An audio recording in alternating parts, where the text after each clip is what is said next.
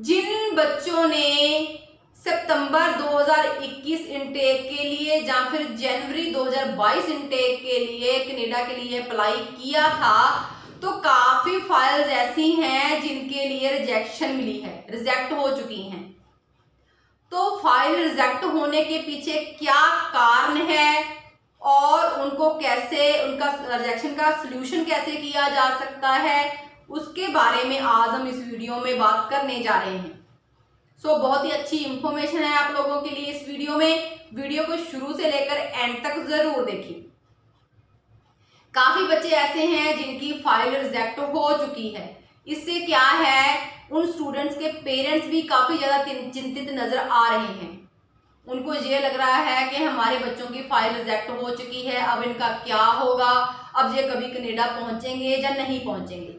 तो आप लोगों को यही कह रही हूँ मैं कि आप अपनी उम्मीद मत छोड़ो, होप रखो कि आपके बच्चे ज़रूर कनेडा जाएँगे तो आज की वीडियो में हम बात करेंगे, हमारी ऑब्जर्वेशन के अकॉर्डिंगली हमने ये देखा है कि कौन कौन से मेन कारण हैं जिनकी वजह से बच्चों को रिजेक्शन मिली है।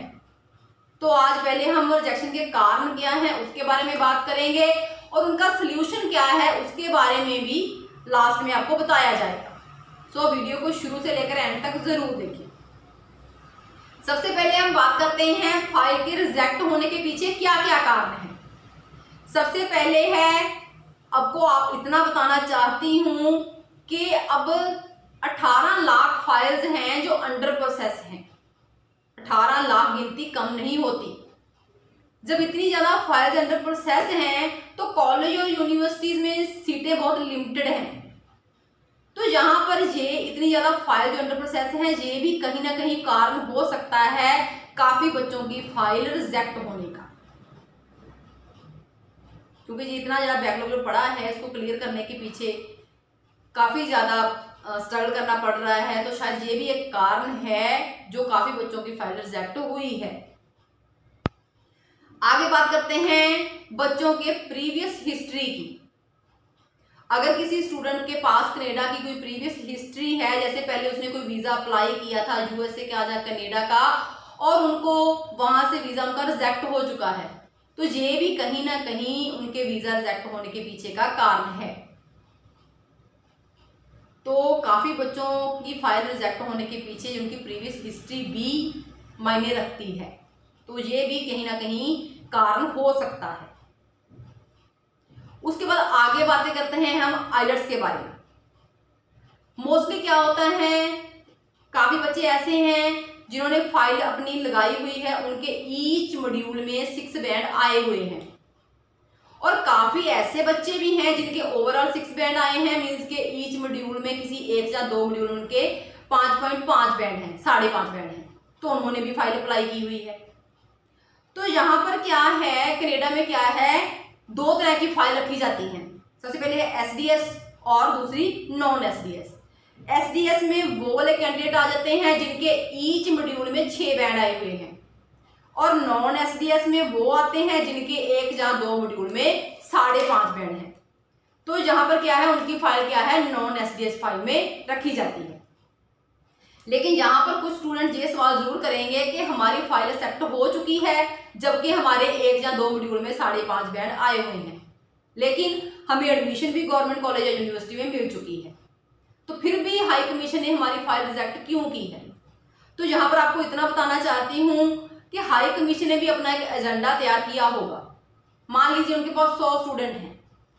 तो फ़ाइल काफ़ी ज़्यादा अंडर प्रोसेस है। मान लीजिए सौ स्टूडेंट हैं, उनमें से साठ या सत्तर स्टूडेंट ऐसे हैं जिनके ईच मॉड्यूल में सिक्स बैंड आए हुए हैं। और तीस स्टूडेंट ऐसे हैं जिनके एक या दो मॉड्यूल में साढ़े पाँच बैंड आए हैं। तो वो क्या, किनको ज़्यादा प्रेफर करेंगे? पहल किसको दी जाएगी? उनको दी जाएगी जिनके ईच मॉड्यूल में छह बैंड आए हुए हैं। तो डेफिनेटली उन बच्चों को आगे रखा जाएगा। तो शायद हमारे अकॉर्डिंगली ये भी एक कारण है जो बच्चों की फ़ाइल रिजेक्ट हो रही है। रिजेक्शन के पीछे ये भी कहीं ना कहीं ये कारण एक हो सकता है। उसके बाद आगे आ जाता है एजुकेशनल गैप जिन बच्चों का जो दो साल का, तीन साल का, चार साल का स्टडी का गैप है तो ये भी कहीं ना कहीं कारण हो सकता है फ़ाइल रिजेक्ट होने के पीछे। उसके बाद आगे है कॉलेज की selection around four Ontario based college की ज़्यादा रिजेक्शन आई है। तो कॉलेज की सिलेक्शन का भी कोई ना कोई कारण हो सकता है, भी शायद बच्चों की फ़ाइल रिजेक्ट हुई। है और जहाँ पर बात करते हैं, काफ़ी ऐसे स्टूडेंट भी हैं जिनकी प्रोफ़ाइल बहुत अच्छी थी, लेकिन फिर भी उनको रिजेक्शन मिली है। क्यों? क्योंकि शायद उनकी जो कॉलेज की चॉइस थी वो सही नहीं थी। मोस्टली वो कॉलेज वहीं उन कॉलेज में आते होंगे जिनकी ज़्यादा फ़ाइल रिजेक्ट हुई हैं। जैसे कि ओंटारियो बेस्ड कॉलेज हैं, उनकी फ़ाइल ज़्यादा रिजेक्ट हुई है तो ये बच्चे शायद उसी कॉलेज के अंदर आते होंगे। तो ये कारण भी हो सकता है। जैसे कि आपको पता है कि 2018-19 में मोस्टली जो कोरोना काल चल रहा चल रहा था ना तो सभी को ये पता था कि 18-19 में सब कुछ बंद था।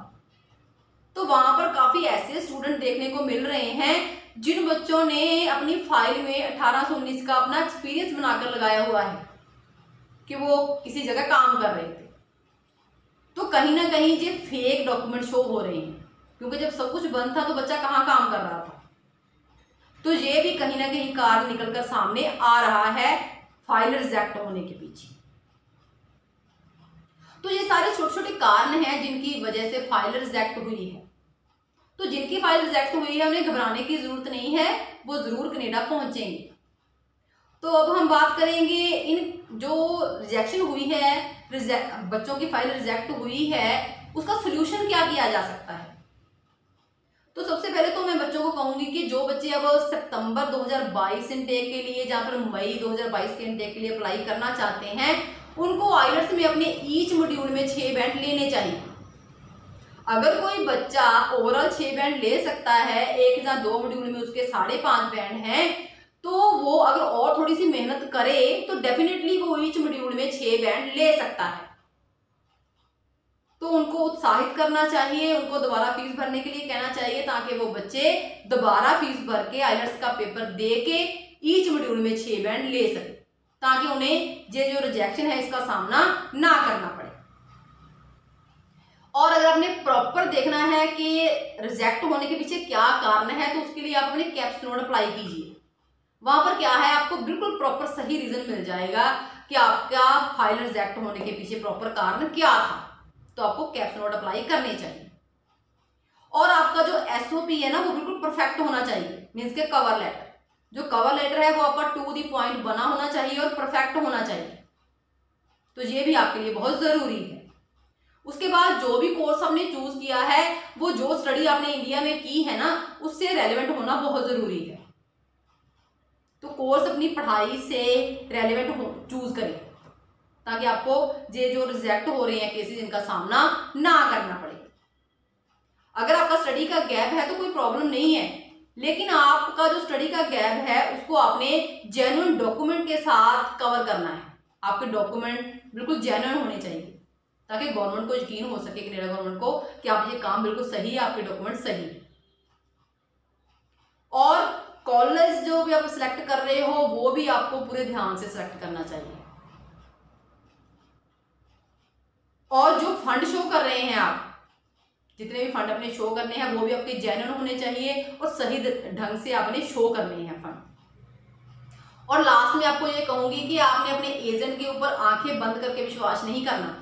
आपकी फ़ाइल तैयार हो चुकी है, आपने साइन करने हैं तो उससे पहले उसे ध्यान से पढ़ें। सारे डॉक्यूमेंट चेक करें, जो भी आपके फॉर्म लगाए गए हैं, उनको सबको पूरे ध्यान से चेक करें, पढ़ें और उसके बाद ही उसके ऊपर साइन करें। ताकि बाद में आपको कोई खमियाजा भुगतना ना पड़े। तो इन छोटी छोटी बातों का ध्यान आपको रखना चाहिए। क्योंकि कोई भी जानकारी आपने लेनी है ना तो आपको कनेडा की जो ऑप्शन वेबसाइट है, वहाँ मिल जाएगी। वेबसाइट नोट कर सकते हैं आप www.cic.gc.ca वहाँ जाकर आप डिटेल में कोई भी जानकारी ले सकते हैं किसी भी वीजे के बारे में। सो किसी की बातों के ऊपर यकीन करने से पहले आप खुद देखिए। आपके पास नेट है नेट की फैसिलिटी है लैपटॉप है कंप्यूटर है इवन कि आपके सेलफोन के ऊपर भी आप पूरा जानकारी निकाल सकते हैं। तो एजेंट के ऊपर बिल्कुल आँखें बंद करके विश्वास ना कीजिए। सो so, क्योंकि हम आपकी हेल्प करना चाहते हैं हम चाहते हैं कि आपकी प्रॉपर हेल्प हो सके आपके साथ धोखा ना हो और आपकी फ़ाइल रिजेक्ट ना सो ये वीडियो में मैंने आपको अच्छी इन्फॉर्मेशन जो दी है, इसको ज़्यादा से ज़्यादा लाइक और शेयर ज़रूर करें, ताकि जिन बच्चों की फ़ाइल रिजेक्ट हुई है, उन तक ये वीडियो ज़रूर पहुँचे, उनको उनके कारणों का पता लग सके। और अगर आप हमसे बातचीत करना चाहते हैं वीजे के बारे में कोई जानकारी लेना चाहते हैं तो आप हमारे पीछे दिए number nine triple eight two nine five triple zero इस नंबर के ऊपर आप संपर्क कर सकते हैं। और अगर आप हमारी वीडियो पहली बार देख रहे हैं तो चैनल को सब्सक्राइब ज़रूर करें, ताकि आने वाली सारी वीडियो सबसे पहले आप देख सकें। सो प्लीज़ वीडियो को ज़्यादा ज़्यादा लाइक और शेयर ज़रूर करें। Thank you